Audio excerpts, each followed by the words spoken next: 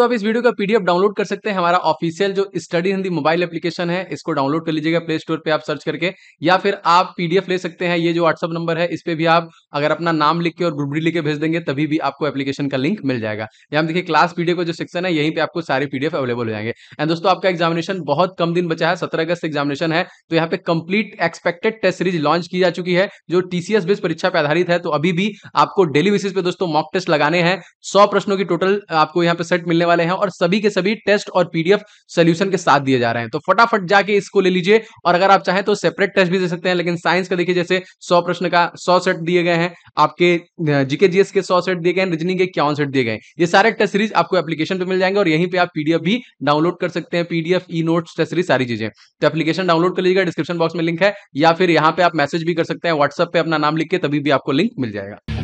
पहले क्वेश्चन की बात करें दोस्तों तो कार्बोहाइड्रेट मानव शरीर में किस रूप में टूटता है?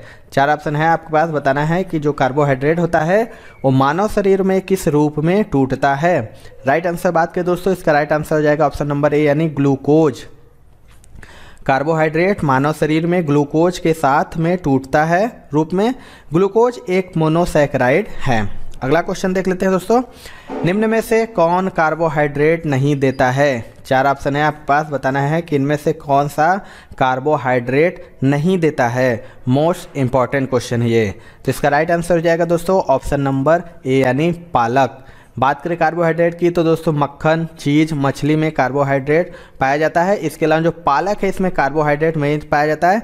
पालक में लौह तत्व की मात्रा अधिक पाई जाती है। अगला क्वेश्चन देख लेते हैं दोस्तों। निम्नलिखित में से प्रोटीन का सर्व प्रमुख स्रोत है। चार ऑप्शन है, आपके पास बताना है कि प्रोटीन का सर्व प्रमुख स्रोत कौन सा है। तो इसका राइट आंसर हो जाएगा ऑप्शन नंबर डी, यानी सोयाबीन। अगर दोस्तों गुणवत्ता के आधार पर बात करें तो सबसे अच्छा प्रोटीन अंडा होता है और मात्रा के आधार पर बात करें तो सर्वाधिक प्रोटीन सोयाबीन में पाया जाता है। अगला क्वेश्चन देख लेते हैं। पित्त स्त्रावित होता है। मोस्ट वेरी वेरी इंपॉर्टेंट ये क्वेश्चन है। मैक्सिमम बार एग्ज़ाम में ये क्वेश्चन रिपीट होता है कि पित्र स्त्रावित कहाँ पर होता है। तो इसका राइट आंसर हो जाएगा दोस्तों ऑप्शन नंबर डी यानी लीवर से।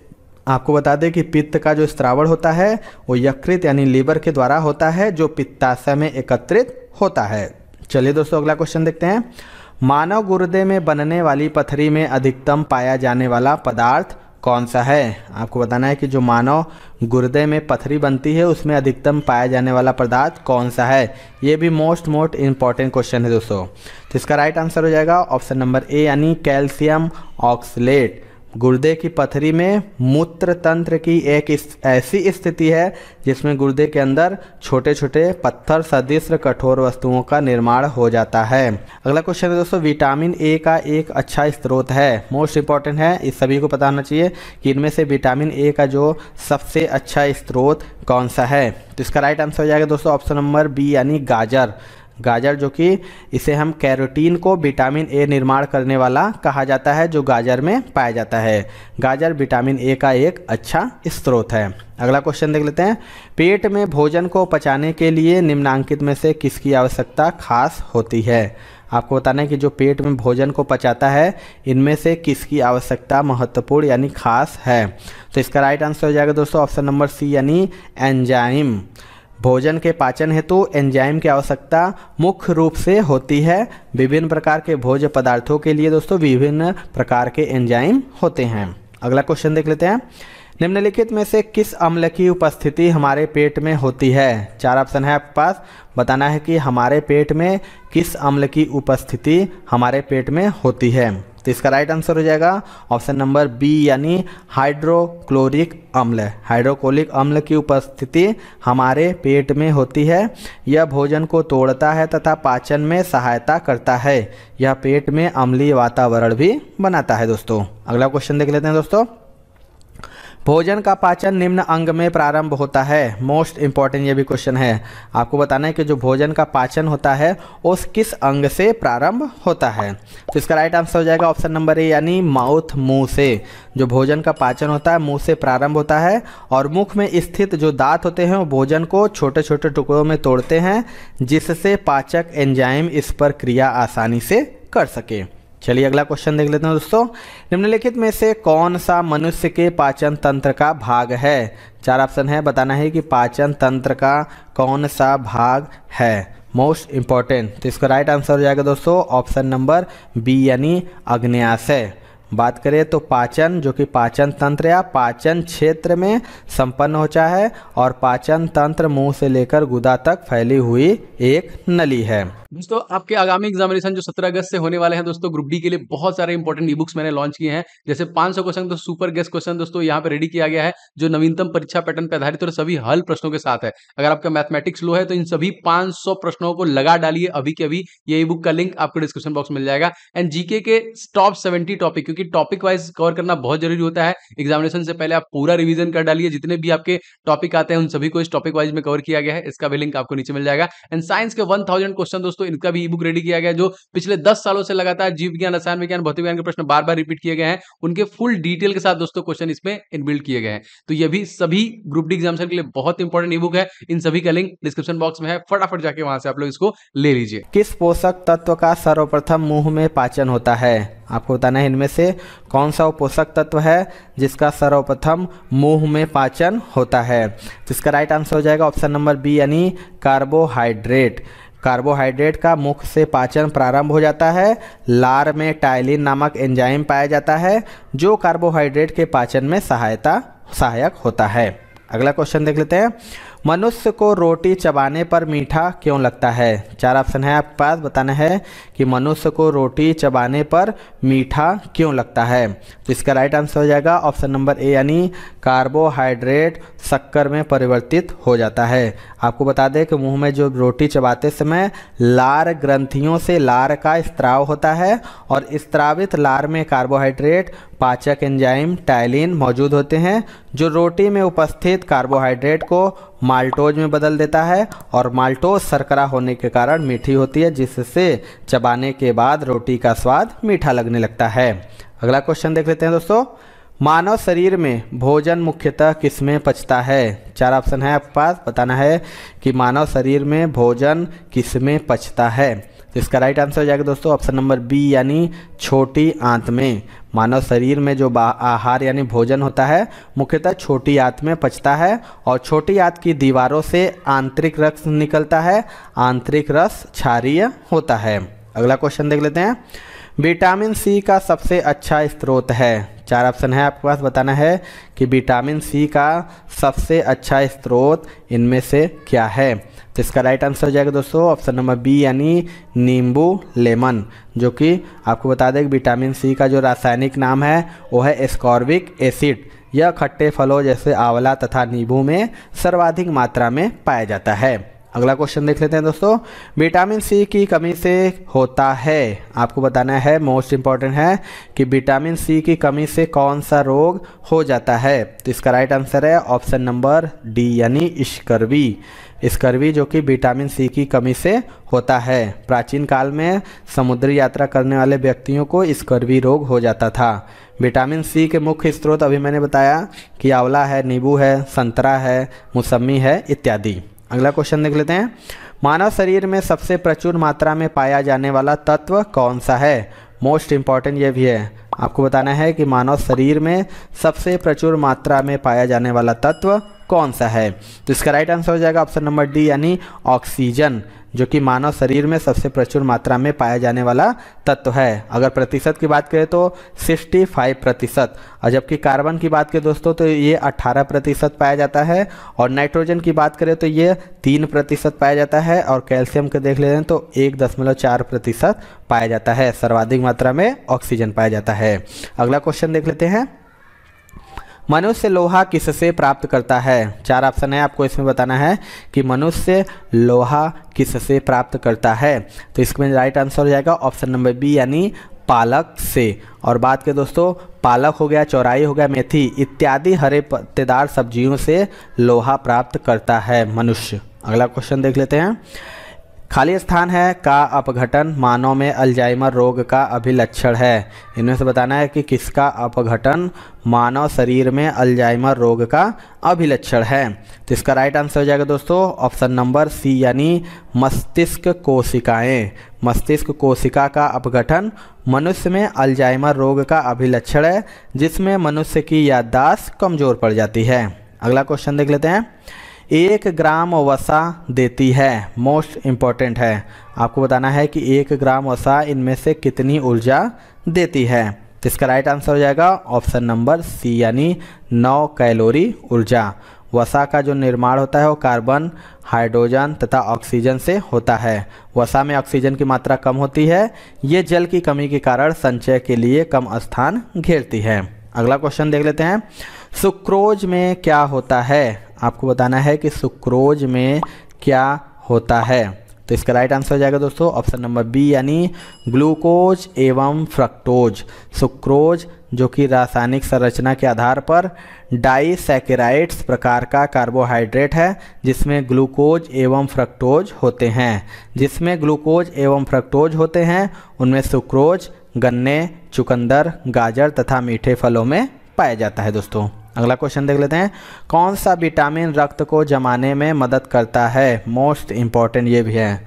आपको बताना इनमें से कौन सा विटामिन है जो रक्त को थक्का बनने में मदद करता है? इसका राइट आंसर हो जाएगा ऑप्शन नंबर सी यानी विटामिन के जो कि रक्त को जमाने में मदद करता है। अगला क्वेश्चन देख लेते हैं दोस्तों। विटामिन ए का सबसे अच्छा स्रोत है। आपको बताना है कि इनमें से विटामिन ए का जो सबसे अच्छा स्रोत क्या है? तो इसका राइट आंसर हो जाएगा दोस्तों ऑप्शन नंबर ए यानी अंडा। विटामिन ए या रेटिनाल का जो सबसे अच्छा स्रोत है, अंडा है। इसके अलावा दोस्तों विटामिन ए और पीले या रसदार फलों जैसे पपीता हो गया, केला हो गया, आम हो गया, इन सभी में प्रचुर मात्रा में पाया जाता है। अगला क्वेश्चन देख लेते हैं दोस्तों।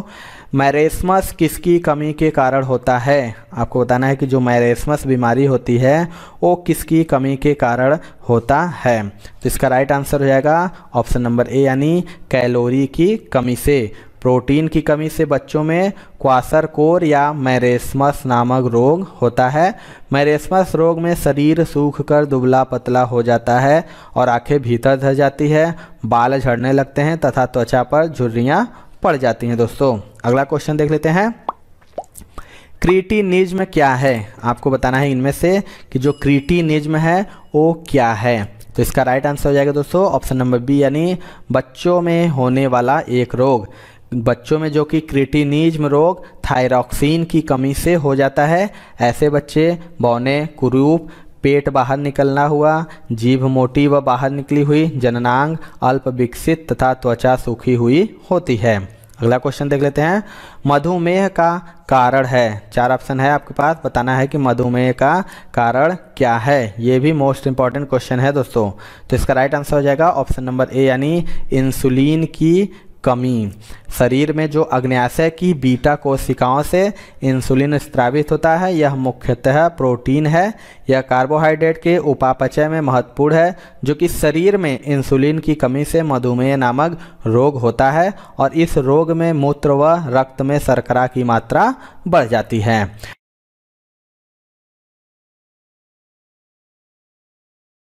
बर्फ़ के दो टुकड़ों को आपस में दबाने पर टुकड़े आपस में चिपक जाते हैं। क्यों?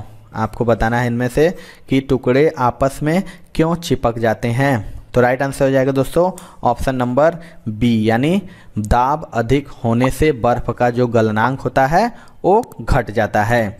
आपको बता दें, जब बर्फ़ के टुकड़ों को परस्पर दबाते हैं तो संपर्क स्थान पर जल का जो गलनांक होता है, वो ज़ीरो डिग्री सेल्सियस से नीचा होने के कारण उस स्थान की बर्फ़ गलने लगती है और दाब हटा लेने पर संपर्क स्थान पर जल पुनः जम जाता है तथा टुकड़े आपस में चिपक जाते हैं। चलिए दोस्तों, अगला क्वेश्चन देख लेते हैं।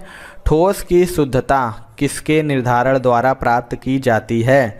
आपको बताना है कि जो कि ठोस की शुद्धता होती है, वो किसके निर्धारण द्वारा प्राप्त की जाती है? तो राइट आंसर हो जाएगा ऑप्शन नंबर बी यानी गलनांक बिंदु। आपको बता दें कि किसी ठोस की शुद्धता उसके गलनांक बिंदु द्वारा निर्धारित की जाती है। यदि ठोस में कोई अशुद्धियाँ विद्यमान है तो उसका गलनांक कम हो जाता है। अगला क्वेश्चन देख लेते हैं। तैराक को नदी के मुकाबले समुद्री पानी में तैरना आसान क्यों लगता है? मोस्ट इंपॉर्टेंट क्वेश्चन है दोस्तों। आपको बताना है कि जो तैराक होते हैं, उन्हें नदी के मुकाबले समुद्री पानी में तैरना आसान क्यों लगता है? तो इसका राइट आंसर हो जाएगा दोस्तों। ऑप्शन नंबर सी यानी समुद्री पानी का जो घनत्व होता है, वो साधारण पानी से ज़्यादा होता है। आपको बताएँ कि जो प्लवन के लिए वस्तु का भार, वस्तु के डूबे हुए भाग द्वारा विस्थापित द्रव के भार के बराबर होना चाहिए। अर्थात वस्तु जितना अधिक द्रव भार को विस्थापित करेगी, उतनी ही आसानी से तैरेगी। अगला क्वेश्चन देख लेते हैं। एक जहाज़ एक नदी से समुद्र में पहुँचता है, तब क्या होता है? आपको बताएँ, जो एक जहाज़ होता है, वो एक नदी से समुद्र में पहुँचता है, तब क्या होता है? तो इसका राइट आंसर हो जाएगा ऑप्शन नंबर डी यानी ऊपर की ओर उठता है, यानी किसी ठोस के द्वारा हटाए गए द्रव का भार उसके कुल भार के बराबर होता है और समुद्र के जल का जो घनत्व होता है, नदी के जल से अधिक होता है। इससे जहाज़ समुद्र में नदी की अपेक्षा कम डूब कर ही अपने भार के बराबर जल हटा देता है, अर्थात जहाज़ ऊपर की ओर उठ जाता है। अगला क्वेश्चन देख लेते हैं दोस्तों।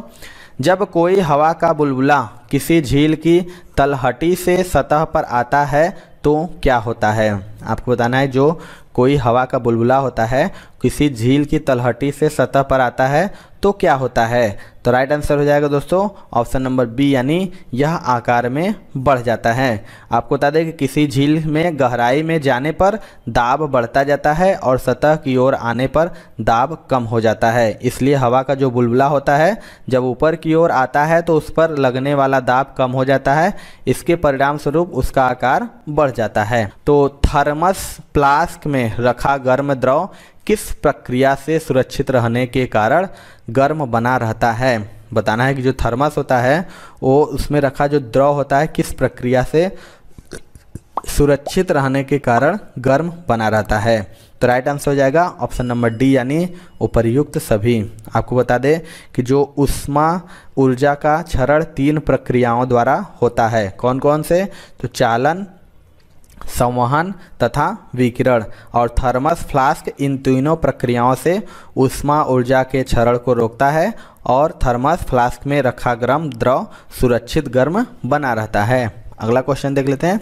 वायुमंडलीय दाब मापा जाता है। आपको बताना है कि जो वायुमंडलीय दाब होता है, वो किसके द्वारा मापा जाता है? तो राइट आंसर हो जाएगा ऑप्शन नंबर बी यानी बैरोमीटर से। हाइग्रोमीटर की बात करें दोस्तों तो यह ऐसे उपकरण है जिनके द्वारा सापेक्ष आर्द्रता मापी जाती है और हाइड्रोमीटर द्वारा दवा का अपेक्षिक घनत्व भी मापा जाता है। और अल्टीमीटर की बात करें दोस्तों तो यह निश्चित स्तर के ऊपर किसी वस्तु की ऊंचाई मापी जाती है। और बैरोमीटर से दोस्तों, आपको मैंने बताया कि वायुमंडलीय दाब मापने का एक वैज्ञानिक उपकरण है। अगला क्वेश्चन देख लेते हैं दोस्तों।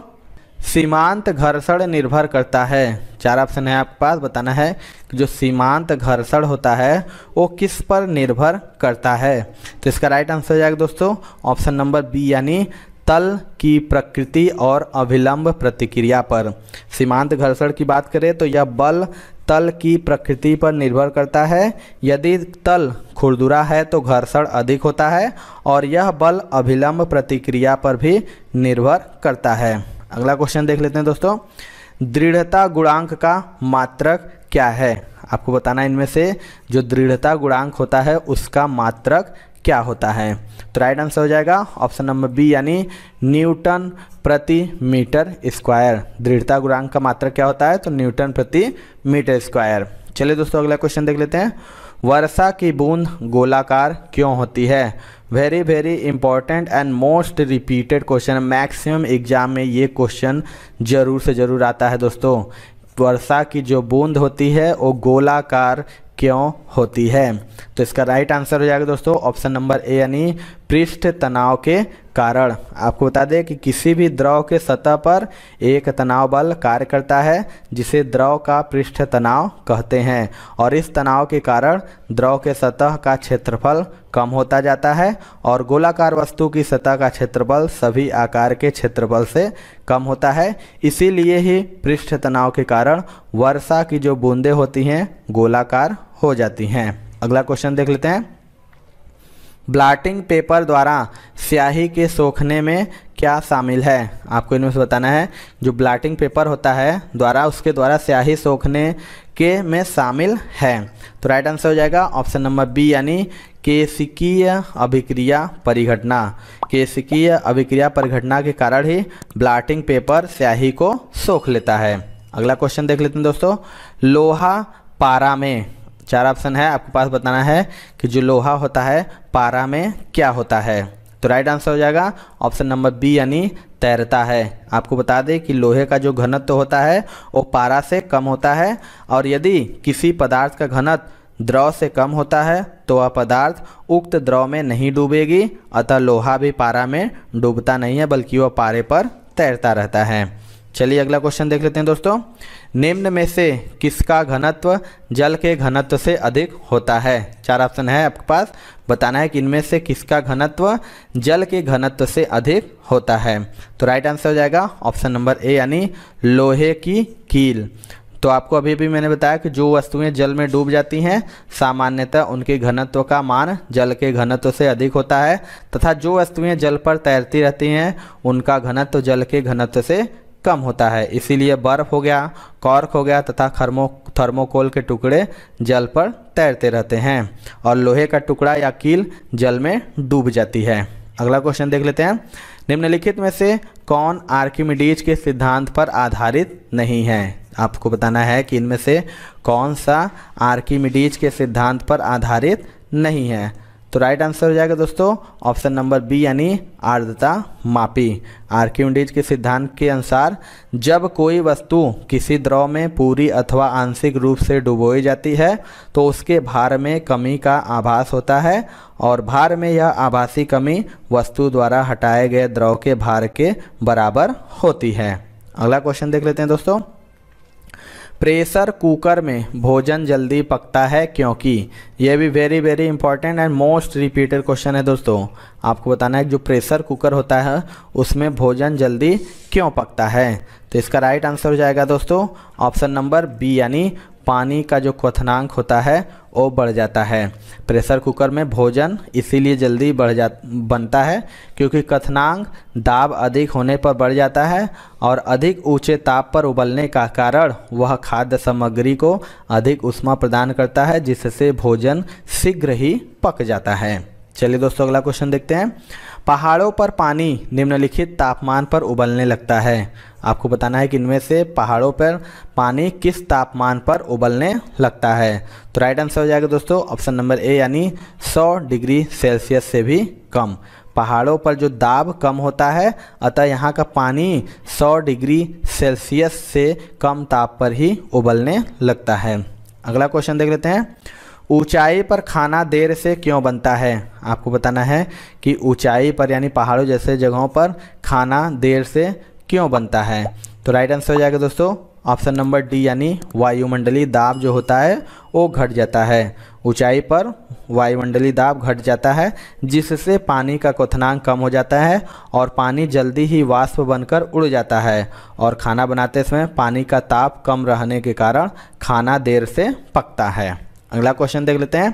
पारा का निम्नतम हिमांक कितना है? आपको बताना है जो पारा होता है, उसका निम्नतम हिना, हिमांक कितना है? तो इसका राइट आंसर हो जाएगा ऑप्शन नंबर सी यानी माइनस उनतालीस डिग्री सेल्सियस पारा जो कि एकमात्र धातु है धातु है, जो कमरे के ताप पर द्रव अवस्था में होती है, और इसका हिमांक माइनस उनतालीस डिग्री सेल्सियस एवं क्वथनांक तीन सौ सत्तावन डिग्री सेल्सियस होता है। अगला क्वेश्चन देख लेते हैं दोस्तों। निरपेक्ष शून्य ताप पर, आपको बताना है कि जो निरपेक्ष शून्य ताप पर क्या हो जाता है? तो इसका राइट आंसर हो जाएगा ऑप्शन नंबर बी यानी आणविक गति रुक जाती है। आपको बता दें कि जो निरपेक्ष शून्य ताप पर आणविक गति रुक जाती है और इस ताप की प्राप्ति केवल प्रयोगशाला में हो सकती है। अगला क्वेश्चन देख लेते हैं। शक्कर के घोल का तापमान बढ़ाने से शक्कर की विलेयता। आपको बताना है, जो शक्कर के ता, घोल का जो तापमान जब बढ़ा देते हैं तो शक्कर की विलेयता में क्या होता है? तो इसका राइट आंसर हो जाता है ऑप्शन नंबर बी यानी बढ़ती है। शक्कर के घोल का तापमान बढ़ाने पर शक्कर की विलेयता बढ़ जाती है, क्योंकि इससे शक्कर के अणुओं को तोड़ने के लिए ऊर्जा प्राप्त हो जाती है। अगला क्वेश्चन देख लेते हैं। आणविक संगठन के द्वारा उष्मा का संप्रेषण क्या कहलाता है? चार ऑप्शन है आपके पास, बताना है जो आणविक संगठन के द्वारा उष्मा का संप्रेषण होता है, वो क्या कहलाता है? तो राइट आंसर हो जाएगा ऑप्शन नंबर बी, यानी संवहन। संवहन की प्रक्रिया में उष्मा का संचरण अणुओं के वास्तविक स्थानांतरण के द्वारा ही होता है। अगला क्वेश्चन देख लेते हैं दोस्तों। गैसों को समतापी रूप में फैलने देने पर आपको बताना है कि इसमें से इसका राइट आंसर क्या होगा जब गैसों को समतापी रूप से फैलने देने पर। तो इसका राइट आंसर हो जाएगा ऑप्शन नंबर ए यानी इसके द्वारा किया, कार्य किया जाता है। आपको बता दें कि जो गैस होते हैं, उनको समतापी रूप से फैलने देने पर इसके द्वारा कार्य किया जाता है, क्योंकि समतापी प्रक्रम में प्रक्रम द्वारा कार्य किया जाता है। अगला क्वेश्चन देख लेते हैं दोस्तों। ऊनी कपड़े सूती वस्त्रों की अपेक्षा गर्म होते हैं, क्योंकि वे, आपको बताना है कि जो ऊनी कपड़े होते हैं, वो सूती वस्त्रों की अपेक्षा गर्म होते हैं। क्यों? तो इसका राइट आंसर हो जाएगा ऑप्शन नंबर बी यानी ताप के अच्छे रोधक होते हैं। ऊनी कपड़े, जो कि सूती कपड़े की अपेक्षा ज़्यादा गर्म होते हैं, क्योंकि ऊनी कपड़े के बीच में हवा होती है, जो उष्मा के कुचालक का कार्य करती है, इसीलिए ही ऊनी कपड़े ज़्यादा गर्म होते हैं। अगला क्वेश्चन देख लेते हैं। ग्रीष्म काल में हमें सफ़ेद वस्त्र धारण करने की सलाह दी जाती है। क्यों? आपको बताना है इनमें से क्यों? गर्मियों में हमें सफ़ेद कपड़े धारण करने की सलाह दी जाती है। तो राइट आंसर हो जाएगा ऑप्शन नंबर सी यानी सफ़ेद वस्त्र जो होता है ताप का कम अवशोषण करते हैं। और ग्रीष्म काल में हमें सफ़ेद वस्त्र धारण करने की सलाह इसीलिए जा, जाती है क्योंकि सफ़ेद का वस्त्र ताप का कम अवशोषण करते हैं तथा सफ़ेद वस्त्र ताप को परावर्तित भी कर देता है।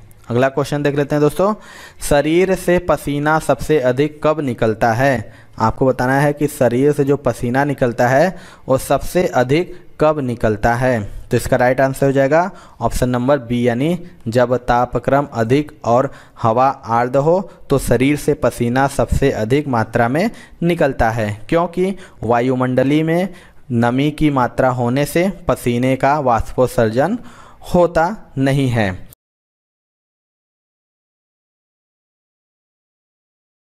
सबसे पहला क्वेश्चन है दोस्तों, जब सोडियम फ्लोरीन से अभिक्रिया करता है तो क्या होता है?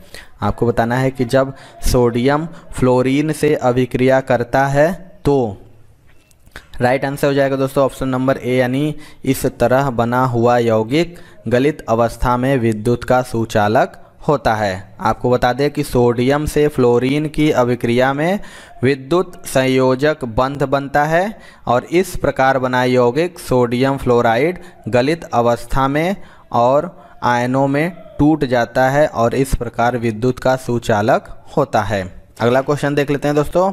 किस अम्ल का उपयोग सीसा संचायक बैटरी में किया जाता है? मोस्ट इंपॉर्टेंट ये क्वेश्चन है। आपको बताना है कि कौन सा वह अम्ल है जिसका उपयोग सीसा संचायक बैटरी में किया जाता है? राइट आंसर हो जाएगा दोस्तों ऑप्शन नंबर ए यानी सल्फ्यूरिक अम्ल।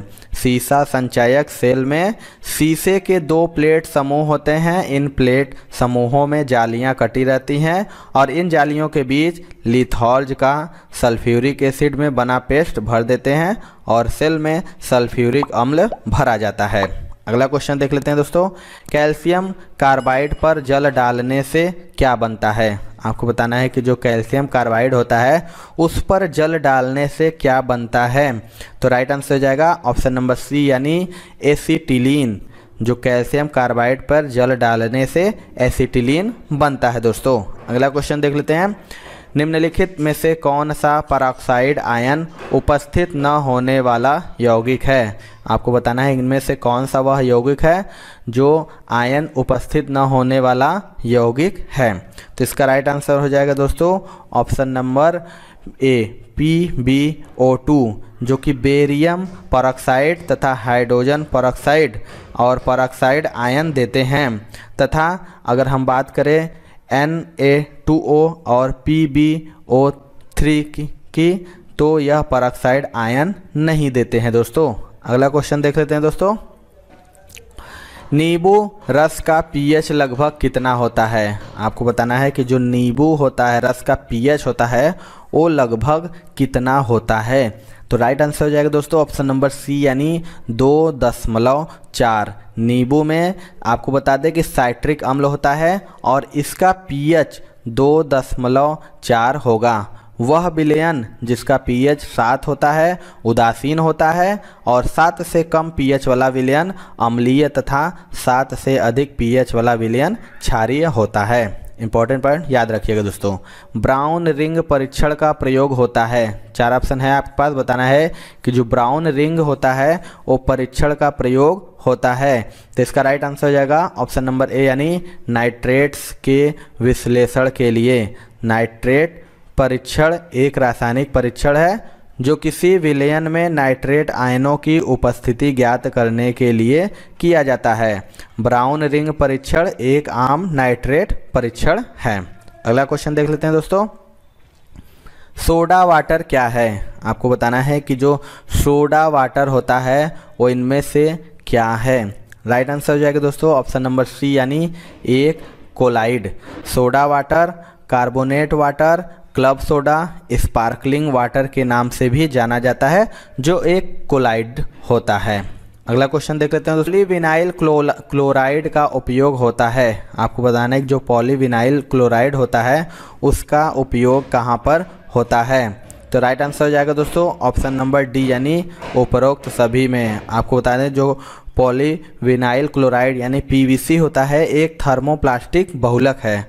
और पीवीसी का प्रयोग व्यापक रूप से सीट कवर बनाने में, चादर बनाने में, बरसाती बनाने में और प्लास्टिक पदार्थों के निर्माण में होता है। चलिए दोस्तों, अगला क्वेश्चन देख लेते हैं। पृथ्वी पर कुल जल में से मीठे पानी का भंडार लगभग है। आपको बताना है कि जो पृथ्वी पर कुल जल में से मीठे पानी का भंडार कितना प्रतिशत है? तो राइट आंसर हो जाएगा दोस्तों ऑप्शन नंबर बी यानी दो दशमलव सात प्रतिशत। संपूर्ण पृथ्वी पर बात करें तो 70 प्रतिशत के करीब जनमंडल और 30 प्रतिशत के करीब स्थल मंडल है। और विश्व में जल के कुल आयतन का छियानवे दशमलव पाँच प्रतिशत भाग महासागरों में पाया जाता है और केवल दो दशमलव पाँच प्रतिशत अलवरीय जल है। चलिए दोस्तों, अगला क्वेश्चन देख लेते हैं। मिल्क ऑफ़ मैग्नीशिया है। आपको बताना है कि मिल्क ऑफ़ मैग्नीशिया इनमें से कौन सा है? तो इसका राइट आंसर हो जाएगा दोस्तों ऑप्शन नंबर बी यानी M G O H twice इसे मैग्नीशियम हाइड्रोक्साइड भी कहते हैं और इसका औषधि में प्रयोग किया जाता है। अगला क्वेश्चन देख लेते हैं दोस्तों। उत्प्रेरक परिवर्तक का प्रयोग करके किस वायुमंडलीय उत्सर्जन को मुख्यतः कम कर सकते हैं? चार ऑप्शन है आपके पास। बताना है कि उत्प्रेरक, परिवर्तन का प्रयोग करके किस वायुमंडलीय उत्सर्जन को मुख्यतः कम कर सकते हैं। तो इसका राइट आंसर हो जाएगा दोस्तों ऑप्शन नंबर डी यानी इनमें से कोई भी नहीं। आपको बता दें कि सीसा रहित पेट्रोल का प्रयोग तभी किया जा सकता है जब वाहन में उत्प्रेरक परिवर्तक लगा हो। अतः स्पष्ट है कि यह मुख्यतः लेड को कम करने की युक्ति है। अगला क्वेश्चन देख लेते हैं। निम्नलिखित में से कौन सा क्षारीय ऑक्साइड है? चार ऑप्शन है। आपके पास बताना है कि इनमें से कौन सा क्षारीय ऑक्साइड है। तो राइट आंसर हो जाएगा दोस्तों ऑप्शन नंबर बी यानी Na2O जो कि एक क्षारीय ऑक्साइड है। अगला क्वेश्चन देख लेते हैं दोस्तों। एल्यूमिनियम सल्फेट का प्रयोग किया जाता है। चार ऑप्शन है, बताना है कि जो एल्यूमिनियम सल्फेट होता है, उसका प्रयोग कहाँ पर किया जाता है? राइट आंसर हो जाएगा ऑप्शन नंबर सी, यानी दोनों में, यानी ए और बी दोनों में। एल्यूमिनियम सल्फेट का प्रयोग कपड़ों की छपाई तथा आग बुझाने दोनों में किया जाता है। और एल्यूमिनियम सल्फेट सोडियम बाइकार्बोनेट के साथ रासायनिक फोम का निर्माण करता है, जिसका इस्तेमाल आग बुझाने के लिए भी किया जाता है। अगला क्वेश्चन देख लेते हैं दोस्तों। प्रतिकण की उपस्थिति को सैद्धांतिक रूप से प्रतिपादित किया। चार ऑप्शन है, बताना है कि जो प्रतिकण की उपस्थिति को सैद्धांतिक रूप से प्रतिपादित किसने किया था। तो राइट आंसर हो जाएगा ऑप्शन नंबर डी यानी पी ए एम डीरॉक ने। प्रतिकरण की उपस्थिति को सैद्धांतिक रूप से पी ए एम डीरॉक ने प्रतिपादित किया था। अगला क्वेश्चन देख लेते हैं दोस्तों। समुद्र के जल में क्या पाया जाता है? चार ऑप्शन है, आपके पास बताना है कि समुद्र के जल में इनमें से क्या पाया जाता है। तो राइट आंसर हो जाएगा ऑप्शन नंबर डी यानी आयोडीन सरी, समुद्र के जल में आयोडीन पाया जाता है और आयोडीन का उपयोग स्वास्थ्य के लिए लाभदायक है। अगला क्वेश्चन देख लेते हैं दोस्तों। निम्न में से साधारण नमक है। चार ऑप्शन है। बताना है कि इनमें से साधारण नमक कौन सा है? इसको ये मोस्ट इंपॉर्टेंट क्वेश्चन है दोस्तों। इसका राइट आंसर हो जाएगा ऑप्शन नंबर ए यानी सोडियम क्लोराइड सोडियम क्लोराइड यानी एन ए सी एल को साधारण नमक भी कहते हैं दोस्तों। अगला क्वेश्चन देख लेते हैं। अम्ल वर्षा किनके पर्यावरण प्रदूषण से बनती है? चार ऑप्शन है, बताना है कि जो अम्ल वर्षा होती है, वो किनके पर्यावरण प्रदूषण से बनती है? तो राइट आंसर हो जाएगा ऑप्शन नंबर डी यानी नाइट्रस ऑक्साइड तथा सल्फ़र डाई ऑक्साइड वातावरण में आपको बता दें कि नाइट्रस ऑक्साइड एवं सल्फ़र डाइऑक्साइड की मात्रा बढ़ जाने से वह पानी से मिलकर एसिड बनाता है। अगला क्वेश्चन देख लेते हैं। नींबू में कौन सा अम्ल होता है? चार ऑप्शन है। बताना है कि नींबू में कौन सा अम्ल पाया जाता है। तो राइट आंसर हो जाएगा दोस्तों ऑप्शन नंबर सी यानी साइट्रिक अम्ल पाया जाता है। नींबू में साइट्रिक अम्ल पाया जाता है, जिसकी वजह से नींबू खट्टा होता है। अगला क्वेश्चन देख लेते हैं। जल एवं एल्कोहल है। चार ऑप्शन है। बताना है कि जल और एल्कोहल इनमें से क्या है? तो राइट आंसर हो जाएगा ऑप्शन नंबर ए पूर्णतः मिश्रणीय। बता दें कि जल एवं एल्कोहल पूर्णतः मिश्रणी है और एल्कोहल के अणु जल के अणुओं की तुलना में छोटे होते हैं और जब इन दो तरल पदार्थों को मिलाया जाता है तो एक पूर्ण समांगी विलयन प्राप्त होता है। अगला क्वेश्चन देख लेते हैं। तेल एवं वसाओं का क्षारीय जल अपघटन देता है, साबुन एवं। आपको बताना इनमें से राइट आंसर क्या होगा? तो राइट आंसर हो जाएगा दोस्तों ऑप्शन नंबर ए यानी ग्लीसरॉल तेलों एवं वसाओं के क्षारीय जल अपघटन से साबुन एवं ग्लिसरॉल बनते हैं। अगला क्वेश्चन देख लेते हैं। C H three O H किसका रासायनिक सूत्र है? आपको बताना है कि जो C H three O H है, वो इनमें से किसका रासायनिक सूत्र है? तो राइट आंसर हो जाएगा ऑप्शन नंबर बी यानी मेथिल एल्कोहल सी जो C H three O H है, वो मेथिल एल्कोहल का रासायनिक सूत्र है, इसको मेथनॉल भी कहते हैं। चलिए दोस्तों, अगला क्वेश्चन देख लेते हैं। 25 डिग्री सेल्सियस पर उदासीन विलयन का पीएच है। आपको बताना इनमें से जो 25 डिग्री सेल्सियस पर उदासीन विलयन का पीएच कितना है? तो राइट आंसर हो जाएगा ऑप्शन नंबर सी यानी सात है। आपको बताया मैंने इससे पहले भी क्वेश्चन में कि उदासीन विलयन का जो पीएच होता है, वो सात होता है, और विलयन का पीएच सात से कम या ज़्यादा होने पर विलयन अम्लीय या क्षारी हो जाता है। अगला क्वेश्चन देख लेते हैं। वायु प्रदूषण का सबसे मुख्य कारक है। आपको बताना है इनमें से वायु प्रदूषण का सबसे मुख्य कारण क्या है? तो इसका राइट आंसर हो जाएगा ऑप्शन नंबर बी यानी सी ओ यानी वायु प्रदूषण का सबसे मुख्य घटक कार्बन मोनोऑक्साइड है। यह मनुष्य के लिए नुकसानदेह है और यह मनुष्य के फेफड़ों को नुकसान पहुंचाती है, जिसके कारण स्वास्थ्य की बीमारी हो जाती है। अगला क्वेश्चन देख लेते हैं दोस्तों। निम्नलिखित में से कौन बड़े शहरों की वायु को प्रदूषित करता है? चार ऑप्शन है, बताना है कि इनमें से कौन बड़े शहरों की वायु को प्रदूषित करता है? तो राइट आंसर हो जाएगा ऑप्शन नंबर बी यानी लेड वाहन चलाने से जो भारी मात्रा में निकलने वाले प्रदूषित तत्वों में लेड महत्वपूर्ण है, जो कि वायु को प्रदूषित करता है। लास्ट क्वेश्चन देख लेते हैं दोस्तों। सामान्य एल्कोहल के ऑक्सीकरण से बनता है। चार ऑप्शन है, बताना है कि जो सामान्य एल्कोहल के ऑक्सीकरण से क्या बनता है। राइट आंसर हो जाएगा ऑप्शन नंबर सी, यानी एसिड। जो सामान्य एल्कोहल के ऑक्सीकरण से क्या बनता है? तो एसिड बनता है। तो ये थी दोस्तों आज की वीडियो। आपको वीडियो कैसा लगा? कमेंट सेक्शन में ज़रूर बताइएगा। वीडियो पसंद आया होगा दोस्तों तो एक लाइक ज़रूर करिएगा और चैनल पे हमारे नए हैं तो चैनल को ज़रूर सब्सक्राइब करके बेल आइकन दबा लीजिएगा, क्योंकि हम आने वाले ग्रुप डी एग्ज़ाम की लगातार तैयारी करा रहे हैं। तो मिलते हैं दोस्तों अपने अगली वीडियो में। तब तक के लिए जय हिंद, जय भारत।